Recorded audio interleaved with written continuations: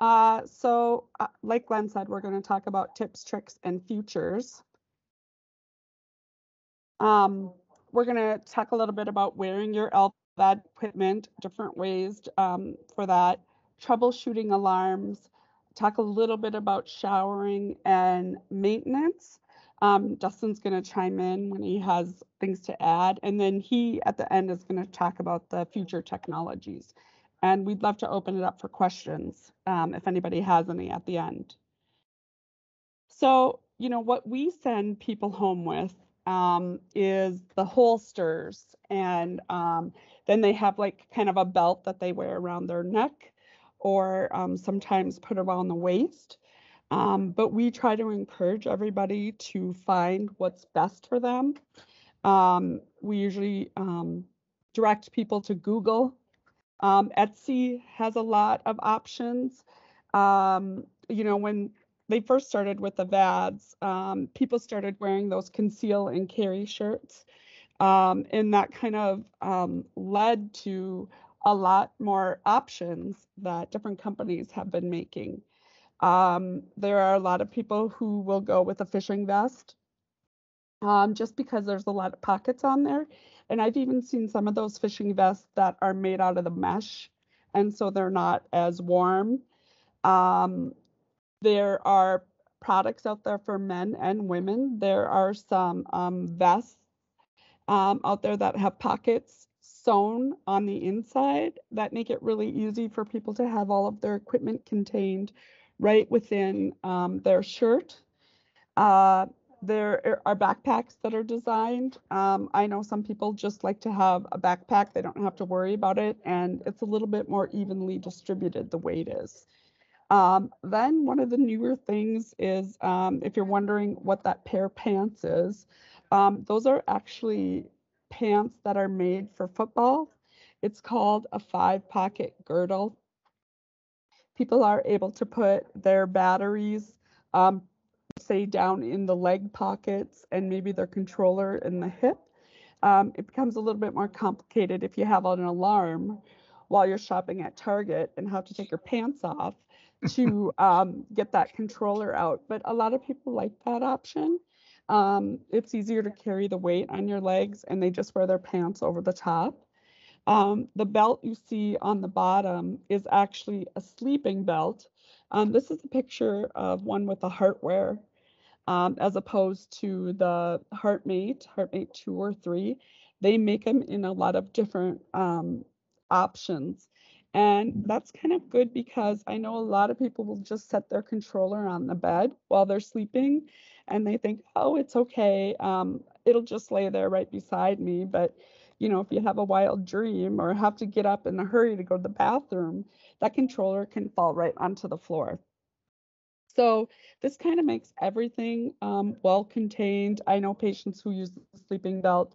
The controller goes on the belt. Their cord that they plug into the wall kind of goes down the end of the bed between their legs. And as they roll over, the cord just kind of stays there. I have I've been trying to encourage people to try out the sleeping belt because I think it's really good for maintaining the drive line. Um, as people know, um, the drive line is a huge source for infection, and the best way to fight that infection is by um, making sure the seal um, stays intact. Um, you know, at some point in time, we hope that the skin will completely grow around the um, drive line and that's definitely an option for um, maintaining that so that you don't get a driveline infection. A lot of times, those driveline infections, once people get them, they'll never go away. Um, and the infection can even be seated in the pump. So um, we that's why we um, work so hard with people on maintaining their driveline dressing and making sure their controllers don't get pulled. Um, I think probably one of the biggest options out there are there are different LVAD shirts. Um, I know this uh, woman, I, I haven't, um, you know, experienced her products myself, but um, there's a lot of options online for LVAD shirts that people are using. Um, I know they come in short sleeves, they come in sleeveless, um, have pockets for the batteries, the controller, Um, and also those Velcro strips to keep your lines tucked in. And then a lot of times people are just able to wear a regular shirt over the top. And, um, you know, when you're out in public, nobody even really knows that you have a, um, uh, uh, LVAD. Um, I know the shirts can be expensive, um, especially for people who, um, you know, are trying to figure out how to pay their medical bills and all of those things. There's a lot of different options. I think I've seen them for as low as 50, as much as 150 it kind of depends upon how much you want to um, customize it. But I think there's a lot of really good options out there. And if you consider that you probably maybe get three or four shirts and wear them, you know, every day, um, I think you definitely would get your money's worth out of them. Um, especially those people who are like, I can't stand my equipment. I don't want to wear it. It's too much of a hassle, which I know is a real thing for people. Um, sometimes the shirt and being able to contain everything and then be able to wear your regular clothes on the outside is a really good option for just making the best of the situation. Um, so um, a lot of times people have their controllers tucked in um, somewhere and maybe they'll get a beep and they don't really know where it came from by the time they're able to get the controller out it might be gone and so then people are like, I don't, uh, do I need to be worried? Do I need to be concerned? Um, not knowing what the alarm is, it um, makes it difficult for you to address the situation. So um, we teach this in um, our beginning education, but we teach a lot of stuff. And I know when people go home um, within a couple weeks, they, you know, are like, I don't remember this, I don't remember that. So this is kind of a good review. Um, you are able to view your last six alarms that you have had on your controller. And the way to do that is you would press the display button, um, which is the square button on the right hand side, and then the silence button. I always cue people to remember if they want to display their alarms, they're going to hit the display button and the alarm button at the same time. That will bring up the most recent alarm and then as you hit the display button, you can scroll through and you'll be able to see the last six alarms that you've experienced. Now, those low voltage advisories, sometimes those are what happens when the battery is kind of sliding around in the clip a little bit, or if the contacts aren't clean. Um, low flow, for those who have the HeartMate 2 and the HeartMate 3, they're going to get low flow alarms when their flow is less than 2.5. And then power cable disconnects. Of course, that's just a natural um, part of having an LVAD. Um, those alarms are going to show up as well. So um, that's a nice little trick for if you're out and about and you have an alarm, and by the time you get your controller out, um, it's gone.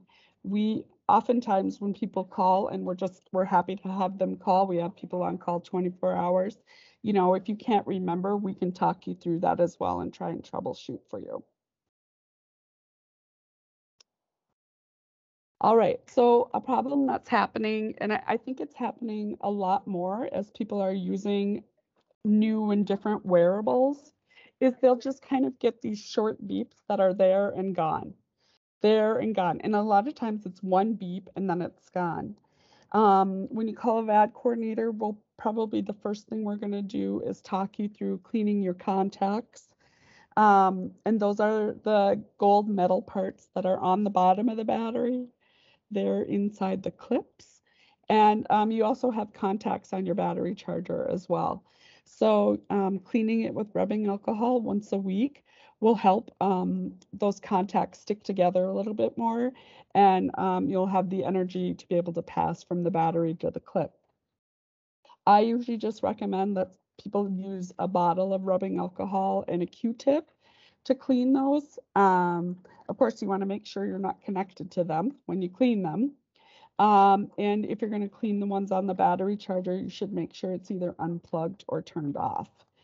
Um, if you have cleaned them and you continue to have the beeps, um, you there's always the option to change your clips. I kind of suggest um, that people, if they think they've got a clip that's maybe a little loose or not working as right, take a Sharpie and put an X on it. Um, everybody should have two clips in their backup bag so they can exchange those out and um, see if those work better. Um, and if you're able to determine which is the offending clip, you know, give us a call and we can replace those clips for you. Um, sometimes I notice that it just is kind of the way people wear equipment. Sometimes if people wear the uh, football pants, um, maybe their batteries jiggle around a little bit more in their clip. Um, so sometimes if you can just try and stabilize it, that would help. Um, you know, if if you're having those alarms frequently, you should for sure call a VAD coordinator on call and we can help troubleshoot them. Um, Dustin also um, just recently talked about an upgrade. Maybe you can explain that a little more, Dustin. Yeah, happy to. Uh, so this is pretty specific to the HeartMate 3, uh, so unlikely going to be an issue with HeartMate 2 patients. But when HeartMate 3 was originally made, um, the system controller, the way that it's programmed, uh, is that it's set to alarm uh, if one of those contacts uh, is lost, you know, between the clip and the battery. And that alarm essentially presents immediately. There's really no delay or lag in, in, in that communication, which is what is leading to a lot of these short beeps that people get. Like Darcy said, it's oftentimes just one beep. Um, so we still recommend that you go through all the steps that that Darcy laid out. However, if you are somebody that's still having issues, um, it may be beneficial to upgrade your controller. And you'll see there there's a little uh, sticker. It's a it's a sticker that that would be on your controller. It says HeartMate 3, uh, and then the version software there. So we we recently came out with version 1.7.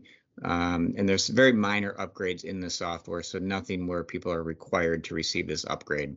Um, however, anybody newly implanted, probably as of uh, January, February, will just automatically be given this controller with this version. Uh, what they did is they reprogrammed that alarm so that it no longer alarms in, uh, immediately, but they've now added a five second delay which will allow hopefully if if this is one of those deals where you're just moving around and there's just that brief loss of contact with the clip um, it will eliminate those beeps and alarms and, and and fix that. So i have done this on a few occasions uh, in my area where uh, patients have just been frequently getting these alarms uh, and they've tried changing out the clips they've tried cleaning them and we went ahead and upgraded their software to version 1.7 uh, just be aware that it, it, so it's a very simple process uh, and, and as long as you know we just coordinate it with the the VAD team at the U uh, but do know that it does require a controller change uh, and so your VAD team would need to make sure that they are comfortable and and and feel that that's a safe thing to do but otherwise the process is very simple. And I think the big thing is is if you're having alarms or you're having beeps a lot call the VAD coordinator on call. You know we're happy to help out with that and to kind of walk you through the troubleshooting. Um, all right, showering. I know that that's been a topic that people talk a lot about. Um, the probably the first rule of showering is you should never shower until a VAD coordinator has approved you to shower. Um, we've had some people who decided they were going to go rogue and try and shower first um, before they um, were approved and things like that didn't necessarily go very well. Um, Hey, so the I'm sorry. coord- oh yeah, Yeah, so let me interrupt real quick. Um, if you want to take the spotlight back, I'm just afraid that um, you're not uh, going to be in the forefront. I think Dustin's in the in the spotlight. I think if you want to Oh. grab that back, who was able to get that before? Sorry, folks. let me try. No, that's fine. yeah.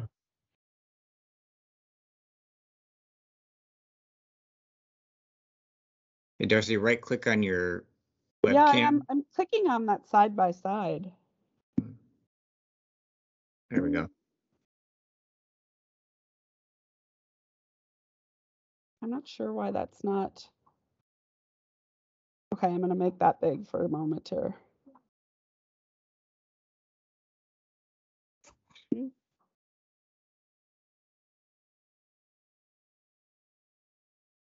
It's actually okay because he's not the spotlight anymore. Your default by up. Oops. Now you're uh, kind of you've got the news reporter mode. there you go. Is that better? Yeah, go ahead. Yeah, you'll be fine now. Okay, okay. Sorry for the interruption. Thank you. Um, no, that's totally fine. So, um, you know, the big things are um, making sure that you've been approved to um, shower by a VAD coordinator.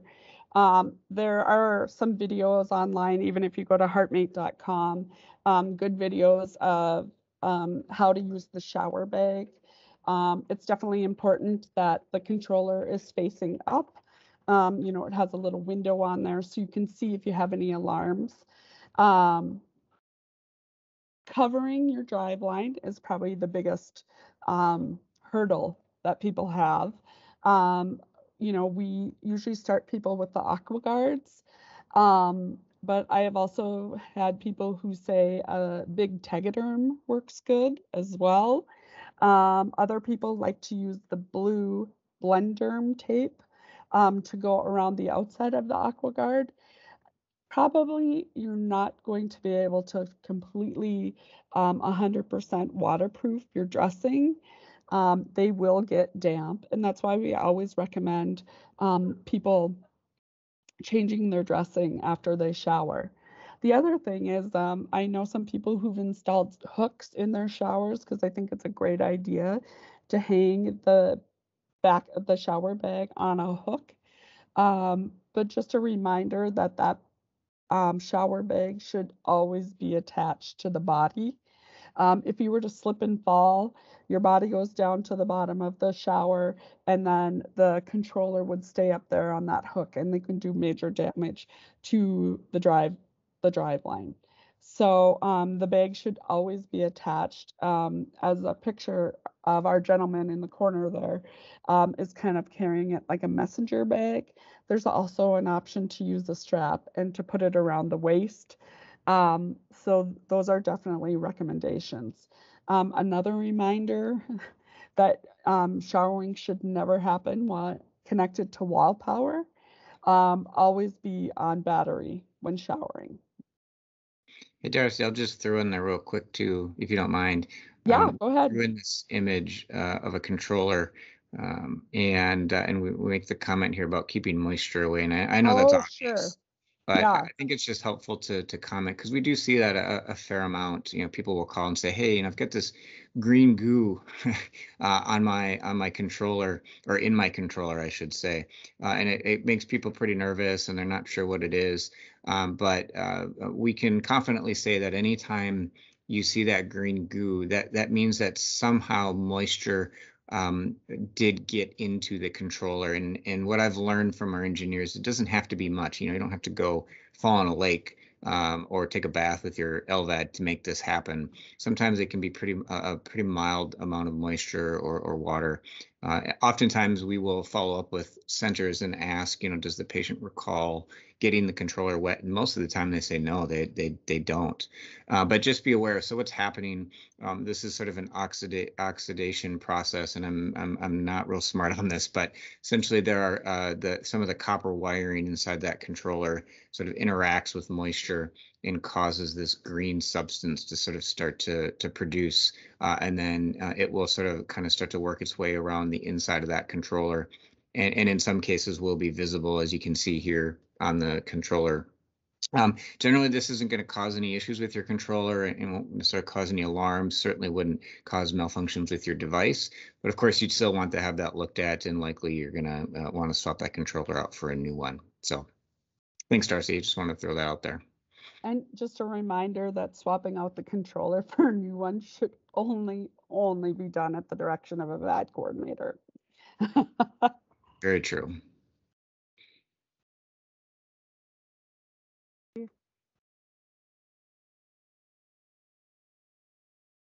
All right. Um, sometimes some of the things that will happen um, after people have had their LVADs for a long time is they kind of forget about the day-to-day maintenance that's required. Um, Justin has uh, put very nicely on the slide um, the stuff that needs to be done daily, weekly, monthly, and the page it refers to on um, in the patient handbook. Um, things that should be done um, daily um, for people who have heartmates, you know, making sure that um, the they don't see the red button on the back. Um, and also for those that have the HeartMate 3 should not be able to see the yellow line on their modular cable connection, and then that should be tightened. in- Tightened. Oh, um, some of the weekly checks are, um, as we said before, cleaning the um, contacts on the batteries and the um, clips and even the battery charger with rubbing alcohol. Um, going back to daily just makes me think um, um, also rotating your batteries. So most people who have heartmates should be going home with eight batteries and the batteries are good for three years. There's a date on the battery that um, tells you when the battery is manufactured and it's good for three years after that date. Um, but you want to make sure that you've used all eight of those batteries equally. Um, so, you know, I usually recommend you have four batteries out, you use them for a month. Um, two batteries go in your holsters and two batteries in your backup bag. Every other day, you're going to um, trade those. And then at the end of the month, you put those four batteries away and bring out the four batteries that were in your closet, under your bed, your freezer, I don't know, wherever you keep your extra batteries at home. um, I don't re- I recommend keeping batteries in the freezer. Um, then um, on a monthly basis, you're going to remember to exchange those batteries. Um, and also check your batteries to see if they need to be calibrated. I think this is probably one of the things that people miss the most is the calibration of the batteries. Um, the the battery charger actually will let you know when it needs to be done. The batteries want to be recalibrated every 70 cycles. And when you put the battery in the slot, you're going to get a picture of a broken battery, just like you see in that picture. Um, you'll want to hold the button down until the um, picture of in the circle um, is shaded in, and that means it's recalibrating the batteries. And what happens with that is the battery will completely drain and then recharge. And after it's been recalibrated, it will give you a more accurate picture of how much charge is left in that battery. Um, at the six month mark, um, we're going to ask you to charge your backup battery in your um, uh, extra battery controller, your emergency backup battery in your extra controller. You can either plug that into batteries or plug it into wall powers. You should do a system test on that one at that point in time, just as you do a system test on your primary controller daily. Um, the other thing that people often forget is to change those uh, three AA batteries that are in your MPU, the mobile power unit. Um, there may still some be, be some people out there that have um, the regular big power module, but those who have the mobile power unit, the smaller one, those batteries should be changed every six months. Um, there is a picture if the batteries are dying, um, you're going to get the yellow battery signal and a beep that is indicating that those batteries need to be um, changed. And I do have a picture. I'm going to try and bring it up.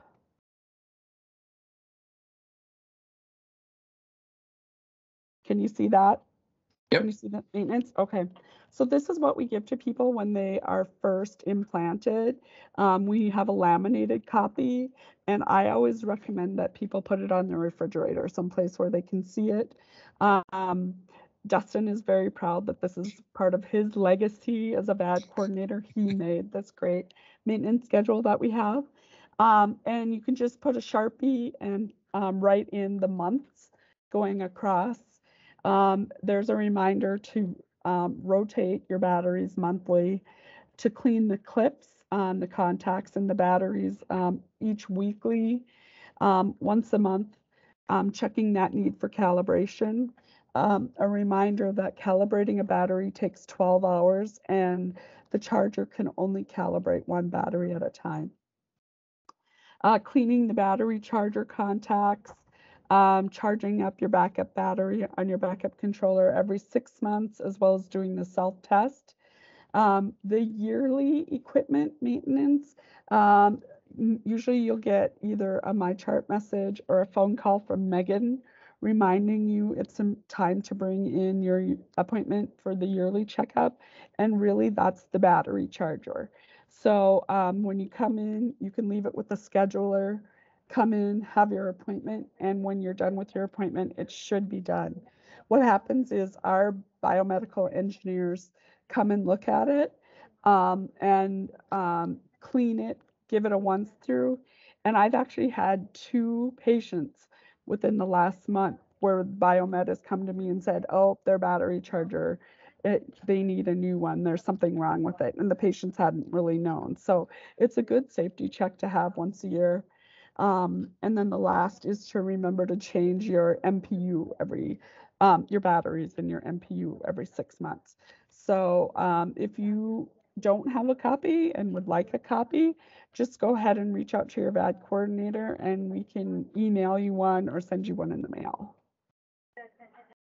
Thanks, Darcy. Um, and thank you, Glenn, and everybody here for uh, having me on and uh, getting an opportunity to present to you guys. Uh, as Glenn said, I've worked at the U for quite a few years prior to joining Abbott, and I know this group well. Had a few opportunities to partner with you guys in the past, and and I'm really glad that Glenn reached out to Abbott and to us, the local team, to kind of find other things to do together uh, re- regarding LVADs. And uh, so this has certainly been great to have these VAD web uh, webinar series. Uh, my colleague and I got to golf the uh, the golf tournament earlier this summer, which was a great day. So uh, hopefully we can continue uh, partnering with you guys and, and being involved. Uh, what you guys do is pretty pretty fantastic. So uh, my Yeah, a quick plug on that note. July 15th, 2022. great. I'll, I'll put that down here. Yeah. We plan to be there again. Yeah, we'll we'll send it out. Uh, We have a newsletter in the, at the at the printer right now. It goes out at the end of the month, and uh, it'll go out to all of you. And uh, Darcy, hope to see you next year. So we have, in fact, we we, we have a few surprises. So look out. I like it. I like it. Yeah. um, so yeah, so so my half of the talk here is going to be t- kind of talking about future technologies. I think this is a topic that everybody gets excited about. I know I certainly do, and uh, and and I think um, you, you know we we we have a lot to I think offer, especially now that we are this company uh, Abbott, which is a pretty big company with a lot of different resources. So I'm, I'm pretty excited to see uh, what what our team can, what our engineers can come up with. Um, I, I'll, before I get into it, I have to make a very bold disclaimer. Um, everything we're going to talk about here is unofficial, um, certainly not approved yet. Uh, I'm not going to be able to provide any timelines, of course. Um, all, uh, a lot of this stuff is still under wraps, even to the point where uh, I'm not even aware of what's happening. Um, so we're really going to be kind of just touching more on some of the general concepts uh, and ideas that that our organization is moving towards. Uh, some of it's a bit more tangible and happening for sure. Some of it's probably a bit further out um, uh, and in in, in earlier design phases. Uh, and unfortunately, I don't have any pictures that I can really share either, so it's mostly just words. Um, uh, but uh, but but hopefully I can add some color here uh, in commentary.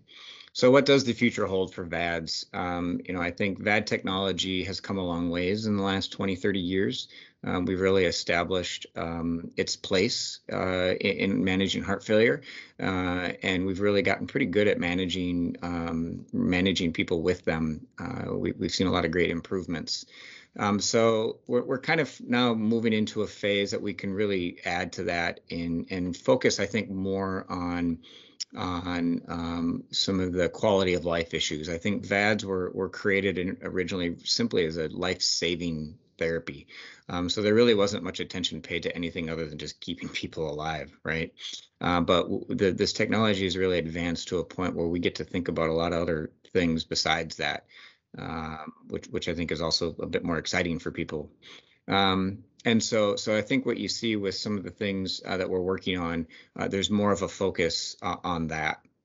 Um, so the first thing that I have here on the list is a smaller pump, and and this sort of came about. This was in the works for a while, but I think this gained some uh, some more traction or attention uh, when Medtronic announced earlier this year that the the HVAD was no longer going to be uh, in use. That I'll tell you uh, from the company perspective that that came as a shock even to us. Uh, we didn't even see that coming. Uh, and uh, but know that you know for for what it's worth, know that our company is is taking that news uh, very seriously. We're not taking it lightly. Can certainly tell you that people aren't sitting back thinking that hey, you know, we own the market. You know, we're the only device out there. Uh, and in fact, I think it's the opposite. I think the, that added quite a bit of pressure uh, because we need to make sure we do this right. Uh, everything that we come out with going forward is, uh, you know, at this point, anyways, uh, a patient's only option. So it, it needs to be very solid. Uh, but with a smaller pump, um, the mentality here is uh, the hardware did provide a little bit of an advantage in its size, um, more specifically when you think about uh, the pediatric population uh, uh, and, and, even some smaller patients. You know, for example, I hear from colleagues in Japan um, that these pumps can be a bit large for, for people in their country. And so having a smaller pump is something that I think um, there's more pressure uh, on us now to, to come out with. Uh, the good news is um, because that was already in the works, uh, it sounds like things are moving along nicely. And um, because the, they are not planning to actually change the pump at all. So it actually will be a HeartMate 3. Um, so the rotor mechanism and how the device functions will, will be the exact same to what we have currently. All they're doing is shrinking the outer dimensions of the device, some of the electronics that run it, and making that smaller. So the hope um, is that this device will be able to fast uh, move pretty quickly through approvals and to get out there. Uh, um, so we will see where that goes, uh, but that's definitely on the list. Another thing that I think is pretty exciting to think about um, is new peripheral equipment. So talking about the controller, the batteries, you know, how you plug into your device at night or at home, and the battery charger. Um, the for those of you that have been around for a while, you'll know that this equipment has been around quite a long time as well, and uh, it is quite dated. And uh, it's not that people are not paying attention eh, or just not caring about that. Uh, something that I've learned being on this side of of the world, uh, being in the industry is that uh, it's amazing how many checks and balances and uh, um, um, submissions that need to be made to the FDA uh, and testing has to be done before these things can be rolled out. You know, this isn't just like a, you know, an iPhone or you know, a television. Uh, this is equipment that's connected to a human being uh, and supports them. So uh, this stuff has to come out in uh, and work well. So um, this peripheral equipment has been uh, in the works for quite a while, but it has been rolled back a few times, largely due to just um, uh, safety issues, making sure that it's it's it's sound. And so we are moving forward with it, and it does sound like this could be coming uh, relatively soon. We'll see. Um, something that I'm particularly excited about is um, there's been a lot of um, emphasis or at least um, people being vocal that they'd like to see this equipment being backwards compatible, meaning um, it, it, could work for patients that already have a HeartMate 3 uh, and not just for newly implanted patients. Um, so I can't speak to that for sure as a guarantee, uh, but I will say that that is uh, very much uh, uh known to our R&D team. Um, and if there is an option to make this backwards compatible, I, I can imagine that that will uh, that they will make it happen. Uh, in addition to that, you'll notice that that, uh, that monitor sitting on the power module, the HeartMate Touch is what it's called, uh, that is already out and was recently um, released. In fact, at the University of Minnesota, we just got done, Darcy and I were actually together a week or two ago, training a bunch of the inpatient nurses on this device. Uh, and this is sort of our, our segue into new technologies. Um, this is um, uh, this is going to sort of allow these new peripheral equipment components to function uh, because we're hopefully going to start moving more towards wireless technology.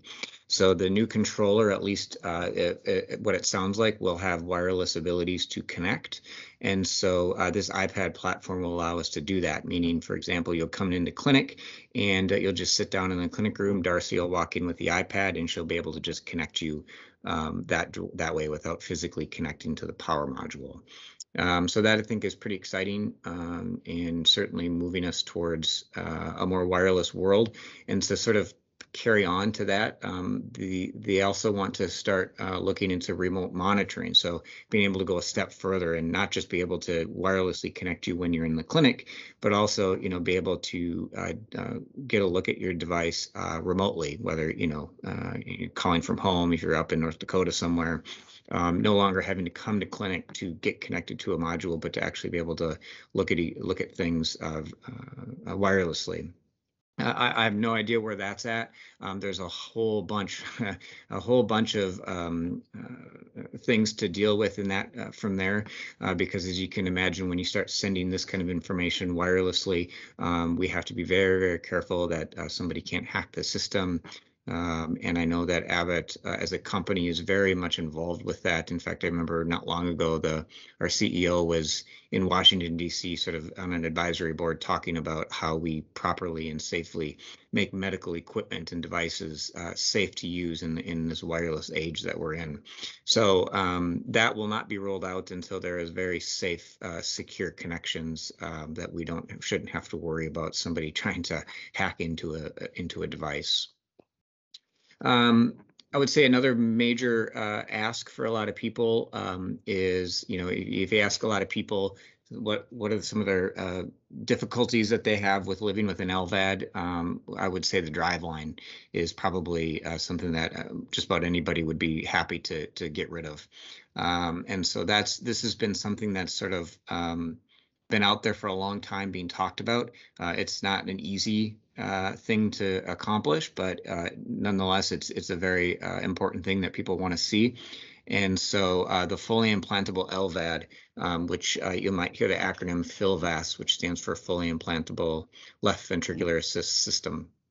Um, that is another thing that is very much a, a, um, a major uh, draw. Some people even call it the holy grail uh, uh, of LVADs. If we could get rid of that drive line, uh, bury the controller inside the body, and allow a patient to be able to walk around untethered um, for for a, a, certain amount of time. Uh, this this project is well in development uh, and it is happening. Um, it, it's a challenge, as you can imagine, because you're changing a lot of the system. Um, but the idea, uh, at least from my understanding and from what I've seen, is that it would still, of course, require charging, uh, and there would be essentially a, um, a, a charging device that goes over your chest uh, that transcutaneously charges your LVAD. Um, so I kind of, if anybody has like an Apple Watch, for example, you've got this sort of magnetic um, charger that lays on your watch uh, and, and doesn't actually plug into the watch. This that's sort of how I picture it, anyways. Uh, of course, it would be very different in an LVAD situation, but um, that is sort of what we're we're seeing uh, being developed. Um, I was uh, fortunate over the summer to be invited to a what they call a clinical expert team. And so the our internal engineers uh, are bringing some of us, people like myself, in kind of into the fold and uh, asking for our recommendations and and making sure that the what they're designing is going to make sense in the real world, not just on an engineer's bench. Um, so I've been on monthly calls with this team and sort of advising them along as they're nearing uh, um, the the final stages of of designing and developing this. So again, no timelines certainly, uh, but I think this would be a very cool thing to see uh, in the LVAD space uh, moving forward. And then lastly, uh, looking uh, probably further down the road, and this is very much just in the research phase, um, uh, but the idea of physiologically smart pumps uh, or responsive pumps that have sensors built into them. Uh, and I think this would be pretty fascinating, although we don't even really know what this would look like. But uh, the idea that these L- LVADs, you know, are are f- at a fixed speed, right? So they just sort of we tell it whatever speed to run, and it runs at that speed, and it really doesn't take into consideration the kind of activity level that the person that has it uh, is doing. Um, and of course, our hearts uh, are responsive, right? Our hearts work harder or less based on on what we're doing. And so the the idea with this would be to integrate a pump that can actually change uh, its function based on what you're doing. So if you decide you want to exercise, the pump speed would go up. And if you go to bed at night and you're sleeping and resting, uh, perhaps the pump speed drops a little bit. Um, there, there has been talks about integrating what's called uh, the CardioMEMS device, which I don't know if anybody's familiar with, but it's a it's another device that Abbott has. Uh, it's essentially a sensor um, that can uh, sense your pressures uh, in your heart, one of your pressures in your heart, um, and actually will help uh, clinicians uh, dose your diuretics. Um, so one of the thoughts was uh, to maybe even integrate that device into an LVAD so that we can have an idea of what the right side of the heart is doing and what your your pressures in the heart are doing, and maybe that could speak to the LVAD and help it adjust its speed. So pretty cool stuff, but certainly nothing. It's all ideas right now. But I'm sure there will come a day uh, where um, where these devices will be smart uh, and be able to um, uh, adjust to to or adapt to to what you're doing. So, in a nutshell, or it's just sort of big picture, those are the those are the big things that are on the list for for Abbott and what we're working on, and uh, uh, hopefully uh, over the next coming months and years, uh, we'll be able to start rolling some of these things out, and and people will be able to start using them. So. Um, with that, that is all I have for technologies, and we've got about 10 minutes left. Uh, so we'd be very happy to take any questions or comments. Great. Great. Thanks, Dustin. And uh, Darcy, thank you as well. Um, if you've got a question, um, just go ahead and put those in the chat function um, uh, or the Q&A um, that you'll see um, up above.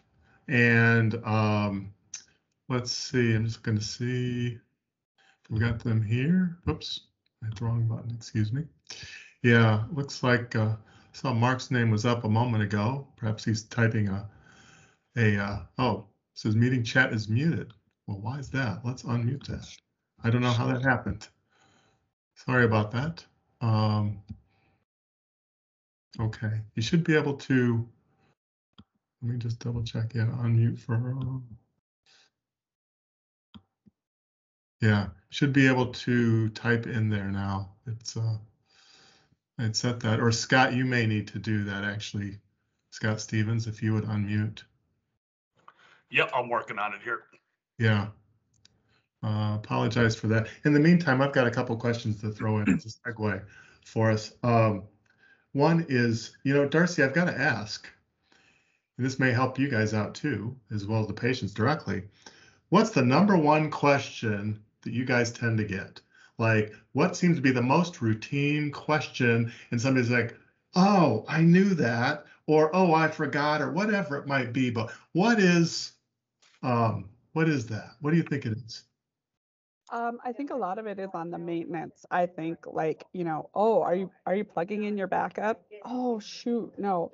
Um, but I would say the number one thing that people are forgetting is calibrating their batteries, recalibrating their batteries. It kind of just seems to, you know, fly under. We do education in about five days, and we talk about a lot of stuff.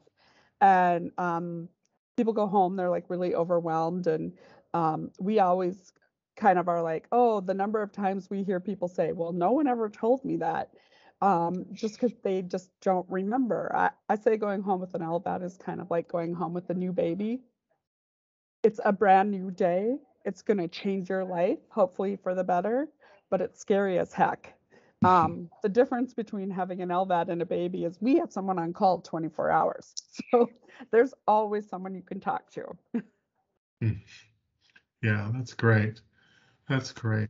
Um, it sounds like we may have a trick or two out there. Um, I'm not sure if we're we're going to be able to get uh, get him on camera.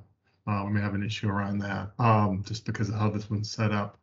Um, but if you've got anything to suggest, we can do that. Um, that said, um, Dustin, I guess what you know, I'm going to kind of on your side, you know, as you've talked to patients, because I know you see patients regularly, you talk to uh, counterparts of Darcy's, what's the number one request you hear from everybody? You think you talking like requests just for? Uh, Gee, I wish my heartmate did this. I wish my VAD did this. Aside from, I wish I didn't need to carry these big heavy batteries. Or is it that I wish to? And it's and, and, and by the way, when saying that, what is it that you think is a solvable problem? That's going right. to be easier solvable problems. Yeah, definitely. I mean, you just hit it. I think um, batteries tend to be the biggest request, at least from an equipment perspective. I mean, and I certainly can't argue with it. Those things are heavy. Um, you know, you add a controller in there, it's just a lot of stuff to haul around with you. So I would say ever since I've started, batteries is easily the biggest um, request from a R&D perspective. Um, and fortunately, I think you know, without being able to say too much, that does seem to be a assuming what we have in the pipeline for new peripherals is coming, uh, that will be a very significant uh, improvement on the new equipment uh, compared to what everybody's used to. So hopefully, I mean, I think that request was happening when I was a VAD coordinator four or five years ago. um, so, so I, I think finally, after all these years, we might finally be able to deliver on a complaint that we've been getting for longer than I've been around, maybe. Yeah, gotcha. You know, um, it reminded me of another, um, is, um, in this backup scenarios, uh, and battery backups and things like that. I know a question kind of comes from time to time about, you know, uh, I don't know, power outages seem maybe, maybe we notice power outages more frequently these days around the, around the residential areas. Uh, certainly with, uh, weather changes, those tend to impact now.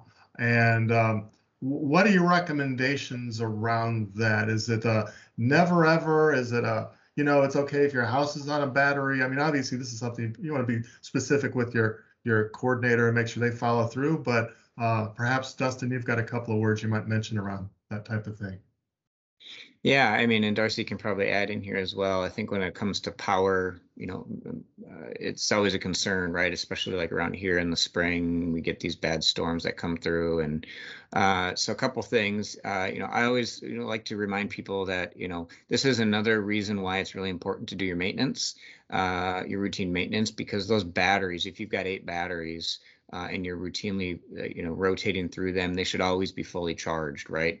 so that if there is a power outage, you'll have plenty of battery power to get you through uh, while you're waiting for you know a more permanent resolution.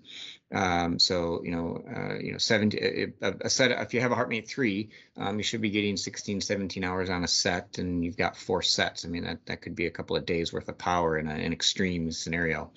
Um, when it comes to things like generators, though, we, we are very we f- very frequently get requests about generators.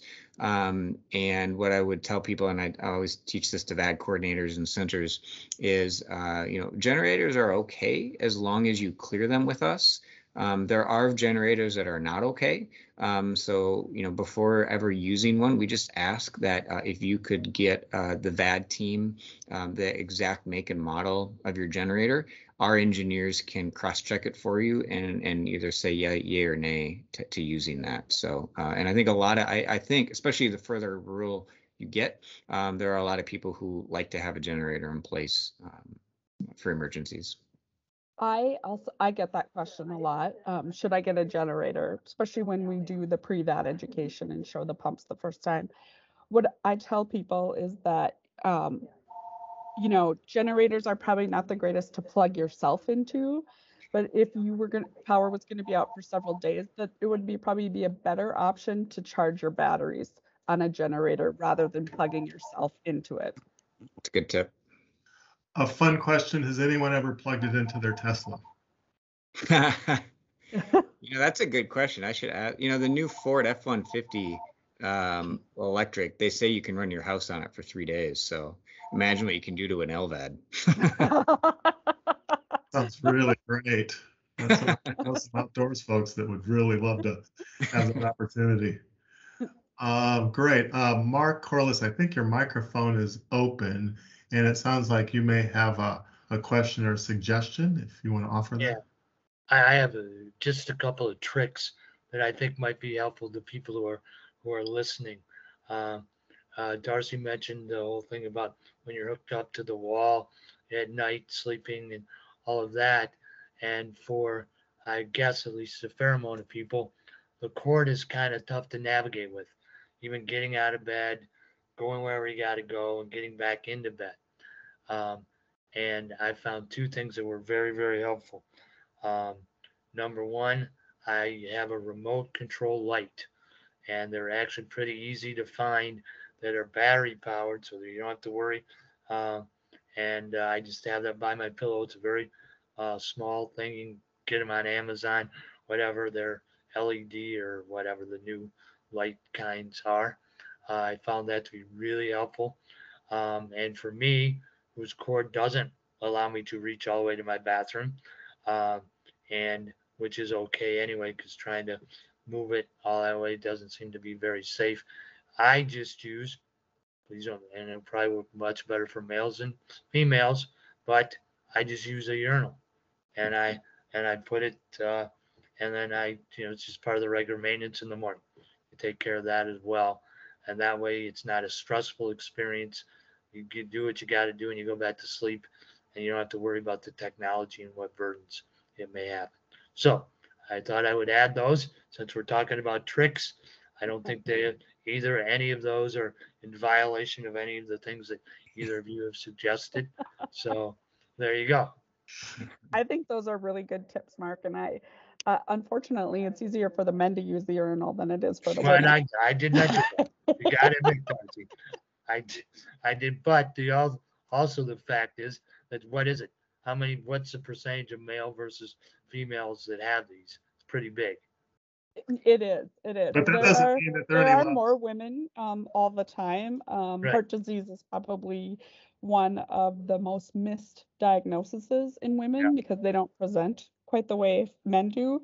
But one suggestion I have, if um, plugging your uh, wall power in next to your bed, you can't reach the bathroom. Sometimes people will have a plug in in the hallway between the bedroom and the bathroom and then your cord actually can swing almost 22 feet you know you can get 22 feet away from your bed so as long as it's in a um, grounded outlet i will recommend that as well Okay. Um, you know, Darcy, he actually brought up a, a, good point that I think could be helpful, and maybe if you know something off, uh, either of you for that matter, off, uh, but uh, something I know we, can use our platform um, in the future is what are some specific nuances for women? Knowing that they are often, I think, underserved in across heart, you know, across cardiovascular health for starters. Um, but certainly uh, inclusive of heart failure into advanced heart failure as well.